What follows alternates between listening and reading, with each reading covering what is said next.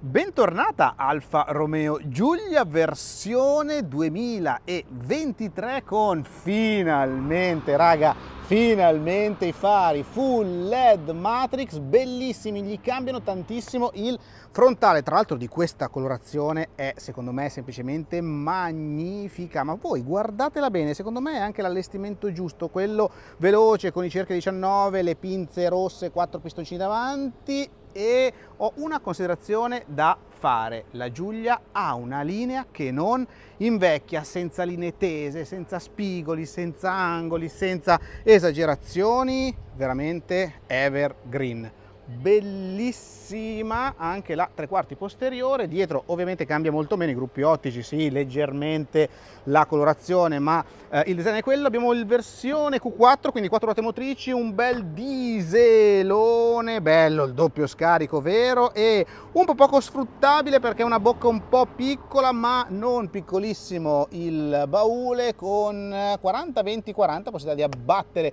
i sedili. Le finiture qua sopra vabbè ma ragazzi ma tutte le macchine fanno un po' schifo qua sopra nella cappelliera e la sedili si può avere anche da remoto, ma direi che la Giulia l'abbiamo vista tanto, andiamo a guidarla perché è quello il bello di questa macchina. Non piccolissima la chiave, ma ovviamente l'ingresso è keyless, non riconosce quando ci allontaniamo, quando ci avviciniamo, bisogna usare i pulsantini o tirare la maniglia. Bello il pannello porta, Arman Cardon, qua c'è anche la gommina per evitare sgigottamenti, molto belli i sedili, tre le memorie, tanto contenitivi e la possibilità, bellissimo tra l'altro il logo Alfa Romeo qua sul poggiatesta, di allungare e accorciare la seduta. Easy entry, beh qua il volante si commenta da solo, non starò a dirvi niente di più di quello che non ho detto perché dentro non cambia niente rispetto alle versioni precedenti. Ecco, una cosa che non mi piace, che potevano forse implementare, la visualizzazione della mappa di navigazione nel cruscotto centrale che ancora non c'è, bellissime le palette in alluminio, magari un po' vicine al Devio Luci, ma male male, Pietro che, che tu ne dica, questo specchietto con sta cornice che è montato sulla tipo tipo. A me non dà particolarmente fastidio, però so che tu non sopporti. Ma io dico, hai speso un sacco di soldi per mettere questi nuovi bellissimi fari LED Matrix, ma una 100 euro in più per cambiare sto spe... Ma perché poi è una cosa che vedi sempre, tutti i giorni, quante volte guardi lo specchietto, a me cade l'occhio su sta cornice inguardabile, vabbè pazienza, nulla di trascendentale, per il resto è la uh, Alfa che conosciamo, con qua tutta la parte relativa al cambio infotainment, anche qua un po' piccolino, però veramente ben integrato nel design generale della vettura e anche questo era stato svecchiato qualche anno fa, devo dire che oggi funziona bene. Tranne quando fa caldo. L'altro giorno l'ho lasciata sotto il sole cocente, per, eh, fai conto che il termometro segnava 50 gradi, quindi ah, ti lascia immaginare. Benissimo ha iniziato a laggare come una bestia, però diciamo che era una situazione estrema. Però in effetti la non eccessiva velocità l'avevo notata anche io. Come stai qua dietro? Qui dietro ci sta abbastanza bene, c'è un ditino e qualcosa di spazio per le gambe, un paio di dita anche per la testa, per essere una berlina direi niente male. Presa USB, anche qua dietro le bocchette, qua il bracciolo, carico passante l'abbiamo visto prima, Isofix molto bene, maniglie per tutti gli occupanti, bella anche la plafoniera, ma sto rumore di dieselone. Senti. Che spettacolo, bellissimo. Togliti quel sorriso stampato sulla faccia solo perché senti il rumore di dieselone. Che bello il mio dieselone, 2.2, 210 cavalli. Che va come un 280. Che va Ma vorremmo con questo telaio 100 cavalli in più. Voglio la quadrifoglio. Quando arriva la quadrifoglio? Pronto? Alfa Romeo, quando è che arriva la quadrifoglio? La Giulia quadrifoglio è una di quelle macchine che qualsiasi appassionato d'auto dovrebbe avere nel garage. Sì, io però vorrei anche provare la Stelvio. La Giulia l'avevo provicchiata quando l'avevate provata voi qualche tempo fa. La Stelvio mi manca, ma tutti mi hanno detto essere il mezzo definitivo. Quattro ruote motrici, con i controlli che si staccano. Vabbè. Però mm. metti la retromarcia un attimo, guarda il francobollo. il retro francobollo. È così, è così. Hai fatto una copertura? Perché sì, sono tutte. Hai messo la telecamera doc per non far vedere il francobollo. Esattamente per non farlo vedere. No, comunque sì, la retrocamera non benissimo. Non c'è quella anteriore, non c'è la 360 e va bene, questo glielo tra virgolette permettiamo, anche se no, ormai che ho messo il display digitale, fare full LED, una telecamera un po' di più di 480x360 era Tra l'altro nel display digitale non va la navigazione, sì, cioè non puoi averla la mappa. Ti fanno capire che è italiano. Però è bella da guidare. Esatto. Noi siamo in coda e stiamo parlando di quanto è bella da guidare. Siamo in coda ed è bella da guidare perché alla fine è anche comoda. Molto comoda. Tu ci hai fatto 1000 km in un weekend. Sì, ho consumato veramente poco perché ho fatto circa 14 con un litro di media facendo passi di montagna, autostrada, cosa, cioè a 130 in autostrada va ad ossigeno praticamente, quindi rotaie cerchio 19-35 Benissimo. quasi non si sono sentite. Ovviamente è una spalla 35 quindi è così. Tra l'altro di solito la gomma run flat che ha su questa, questa vettura ogni tanto la rende tanto rigida nella realtà dei fatti è veramente molto buona non abbiamo le sospensioni a controllo elettronico È vero, meno male così non mi arrabbio perché in N, in normal, non puoi Indorirle. indorirla, solo in dynamic di solito. alla fine abbiamo una modalità di guida che va a gestire solo motore cambia un po' di cose però al letteratore arriviamo dopo Hai notato che in N quando cambi in manuale è un po' più effetto trascinamento? Sì, e ti dirò di più. Ho provato un equivalente, quindi un 210 cavalli Q4, primissima serie perché è del 2016 di un amico, e posso dirti che l'hanno leggermente, e dico leggermente, desupercarizzata, nel senso che la sua, per esempio, quando fai manovra, per esempio dentro il cortile a casa mia, saltella come sulle ruote davanti, come le vetture con il volante precisissimo. Il cambio è una lama anche in modalità normal, diciamo in modalità natural, come la chiamano loro. Ti dico, va benissimo, si guida benissimo, il 99,9% degli utenti credo non se ne accorga nemmeno, però avendole guidate una dopo l'altra subito, ho notato qualche leggera differenza. Chiaro che con l'evoluzione hanno detto Hanno limato qualche spigolo che forse era troppo estremo. Esatto, forse a qualcuno dava fastidio il fatto che saltellasse, però era una caratteristica più che un problema. Il fatto è che non è, ripeto, la macchina funziona divinamente.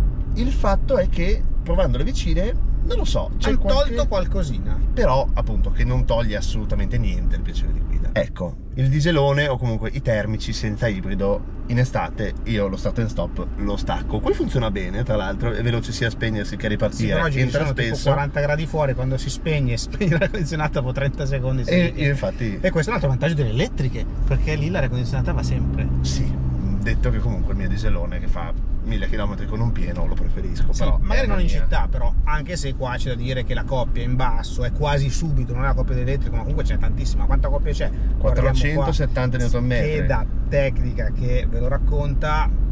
Cioè, si, si guida bene anche in città. Si guida bene, Giulia. sì, guida anche perché non è vomitina. Molte vetture, soprattutto poi faremo magari dei paragoni con le tedesche, quando freni magari c'hanno quell'effetto rebound, quel bobon, bobon, quel rimbalzino, anche il cambio, taratura, cambio, motore, che le fa diventare un po' vomitine, qua zero effetto vomitino. Il rumore, il rumore. Boh, a me è diesel, a me è diesel old school. È diesel. Va bene. Sì. Però sai che ci sono gli ultimi diesel che sono super filtrati, super Sì, è insonorizzati, un super... filino più ruvido rispetto Questo ad alcuni altri. È vero, è vero, è vero. Ecco, hanno cambiato anche il rumore della freccia, facendolo diventare un po' più fastidioso, senti? Questo qua è quello della tonale. Quello della 2016 era un po' più carino. Hanno preso lo stesso software. Esatto, l'hanno preso l'hanno trasportato lì. Però questo non è lo Uconnect, quello diciamo della 500 elettrica, rimane quello della Giulia. Magari non c'era il processore potente a sufficienza per far girare un infotainment magari un pochino più moderno. Come dicevi tu è un po' lentino. a È un volte. po' lentino. Però quanto è integrato bene questa display. Ma tu lo sai un aneddoto? Quando l'hanno lanciata conoscevo una persona in Magneti Marelli. Mhm. Mi ha detto che da un punto di vista ingegneristico hanno speso un sacco, ma un sacco, ma mi hanno detto Andrea, un sacco di soldi per far sì che il display scomparisse. L'hanno un po' desupercarizzata, anche il raggio di sterzata leggermente migliorato, però rimane poco raggio di sterzata. Ah, ok. Cioè, Rimane ammetti poco. che devi fare 66 manovre per entrare in un parcheggio stretto. Sì, devi solo, devi solo in realtà capire come farle al meglio, perché poi alla fine le fai. Beh, però vabbè. devi farne una in più, Sì. tendenzialmente. Anche tre. Rotaie cattive? Ma sai che Ma no, poi è bello il rumore, bello è il tutum, tutum, ma fammi sentire. è premium? No, c'è anche il singolo vetro. C'è il singolo vetro, sì, sì. È premium, è proprio ben insonorizzata. Pensa a te se non fosse sonorizzata sto motore. Arrivati, L'illuminazione lounge? no, i Matrix, quella Ah, è arrivata. arrivati. È una cosa alla volta. Infatti. Nel 2025 arriverà l'illuminazione lounge. No, i Matrix LED funzionano abbastanza bene, nel senso che non sono velocissimi a salire e a scendere ogni tanto, Però potenti. Potenti, esatto, sì. Vediamo se questa volta ha voglia di attivare gli assistenti alla guida, come dico io. No, Sì, no, eh, sì, eh, allora, il centering funziona bene, ma si attiva un po' quando vuole lui, cioè ci devono essere delle condizioni sine qua non allineamento strade di pianeti. ce l'ha fatta. Adesso Traffic? Jam. Traffic Jam. Ce la sta facendo. Dice di toccare il volante, lo tengo perché sennò Tra l'altro capacitivo, quindi molto bene, Sì. posso toccarlo, la curva la fa, no, ma funziona bene. tenere le mani L'unica sul volante. cosa è proprio che l'attivazione è un po' randomica, non randomica, che non riesco a capire neanche quale sia la chiave. Non riesco a capire quale sia la chiave perché, per esempio, l'altro giorno ero in un'autostrada nuova, la Pedemontana Veneta, che non era mappata sul suo Tom Tom di serie e lei non riconosceva che eravamo in autostrada, però io ero a 130 km all'ora e non mi settava l'highway assist, come lo chiama. Per il resto, assistente dell'angolo cieco c'è e vibra anche il volante, tra l'altro. Infatti, un paio di volte mi sono sentito vibrare il volante e ho detto: Ma cos'è sta roba che vibra il volante? È l'assistente dell'angolo cieco, Anche il cruise control adattivo funziona bene. sì, è italiano, Sì, quindi non, ti lascia tiene a un chilometro. davanti. Abbiamo detto i consumi in città, perché costa così poco che in città tra 12 i 12 14. 14, non pochissimo, ma comunque essendo quattro ruote motrici. Sì, no, va benissimo. Sì. Cioè, 14 km con un litro, però una macchina comunque pesa 1600 kg, 4 volte motrici, eccetera, eccetera, a Vergine. Tra l'altro l'assistente dell'angolo cieco è anche attivo, quindi se vede che c'è una vettura nell'angolo cieco ti dà una leggera controcoppia per non andargli addosso. Ovviamente tutto settabile e selezionabile. I giunti direi molto bene, Lo smorzamento. molto molto bene. A 110 sembra di andare a 50. Sì, perché siamo a 1400 giri È e veramente fa tipo bassi. 400 km con un litro. no? No, a 21, 110 22, fa sì 21. Che è comunque tanta roba. Affondiamo l'acceleratore, 470 Nm di coppia, 130 adesso, direi molto bene, E fa ancora comunque 18-19. che è tanta roba, è davvero tanta roba. Il dieselone qui fa la differenza. Io di solito amo i SUV perché sono, hanno una posizione di guida alta. Qui, nonostante ci sia una guida da berlina, comunque 1000 km in un weekend mi hanno fatto viaggiare davvero, davvero molto. Ma sì, alla fine perché è confortevole, non è vomitosa, ha un bell'assetto, una buona insonorizzazione, è una macchina da lungo viaggio. Magari con quelle quattro curve ogni tanto che ti svegliano, che ti fanno divertire. Io ti dico, siamo andati a San Martino di Castrozza, non so se tu conosci la strada che da Fiera di Primiero va a San Martino di Diciamo di Castrozza. chi non la conosce questa strada. Se la conosci, chi la conosce sa che è una prova speciale ed è bellissima, cioè è bella larga, tutta godere. Godere puro anche con il dieselone. Comunque 130 km all'ora, ancora 1800 giri, quindi l'ottava è proprio lunga, da riposo, per quello consuma così poco. Vado a metterla in modalità dynamic, cambia nettamente l'intelligenza de- del cambio e anche la velocità del cambio, perché quando vai a mettere marce ti dà di quelle Sì, volte che quel non sono... trascinamento che faceva in, in, in- Non si possono purtroppo staccare i controlli neanche su questa versione 4 ruote motrici e come vi dicevo non abbiamo le sospensioni a controllo elettronico. La metto anche in modalità manuale per usare questi paddle che sono una cosa meravigliosa. Andiamo ad inserire e vedete che portandola dentro col freno e poi andando a caricare il posteriore diventa appunto una mezza supercar pur avendo il dieselone Ma se comunque sai cosa? Cioè, vorresti avere tanti più cavalli, come dicevamo all'inizio. 100 cavalli in più 100 cavalli in più non farebbero assolutamente male però a livello di sensazione forse va più della Stelvio che ha 100 cavalli in più che ha 70-80 cavalli in più e anche a livello di allungo ha un dieselone a 3500 giri ha finito però sotto spinge, spinge davvero davvero tanto. Grande appoggio. grande grande grande appoggio. Adesso vado a fare il cambio di corsia. Le do tanto fastidio e non si muove zero minimamente minimamente. È impressionante quanto sia attaccata a terra. Dinamicamente alla Giulia non si può dire assolutamente niente. Ah, freni. Yeah, freni, decidi di frenare così. ho basta. frenato il pedale del freno è by wire tra l'altro meglio rispetto a quello che avevo criticato della, della Stelvio e comunque ogni tanto un po' gommosino però qui ci fai l'abitudine la Stelvio non era bellissimo qui molto bene Allora, prezzi 59,550 con uno sconto online 53,695. Non compariamo mai questi sconti online che le case costruttrici vogliono fare Casualmente. fuori vogliono iniziare tutti a fare alla Tesla. Eh, ma stanno, stanno cambiando le cose, Eh, stanno in, cambiando in le Constellanti cose. soprattutto stanno cambiando le cose.